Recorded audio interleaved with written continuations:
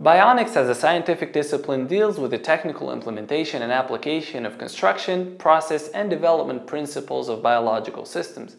A bionic structure is a structure inspired by nature mainly in its functionality.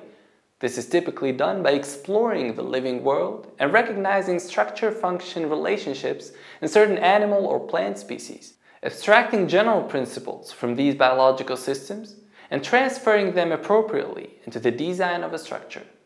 The aim of this transfer and the application of natural forms in the construction industry is to achieve a structural efficiency comparable to that of sustainable biological systems.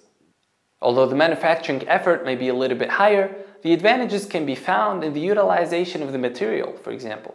The fillets in the example model uploaded on the Structure Analysis wiki page of bionic structures can, for instance, minimize singularities at the intersection points. A pretty well-known and very typical example of bionic structures are the columns of La Sagrada Familia de Barcelona, whose shape was inspired by a tree structure.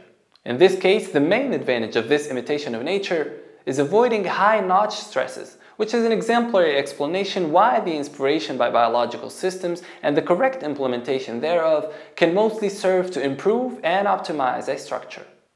The Gherkin in London is also a biologically inspired building, whose supporting system works similarly to the glass sponge, and again shows the huge potential of the use of bionics in structural design. Nature offers an infinite number of technical solutions to unanswered engineering questions. What bionics is proposing in this context is a new perspective where humans, through targeted research and open thinking, can actually learn from animals and plants. If you want to know more about bionic design and architectural innovations inspired by nature, check out the link provided under this video. Don't forget to subscribe to our YouTube channel and follow us on LinkedIn and Instagram. We have a lot of content coming your way. My name is Ismail Hmidet, and this was Dlubal Structure Analysis Wiki.